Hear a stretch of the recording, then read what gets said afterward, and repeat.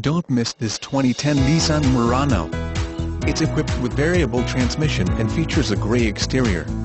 With 61,659 miles, you'll want to take this car home. Make a great choice today. Contact us and see this car firsthand.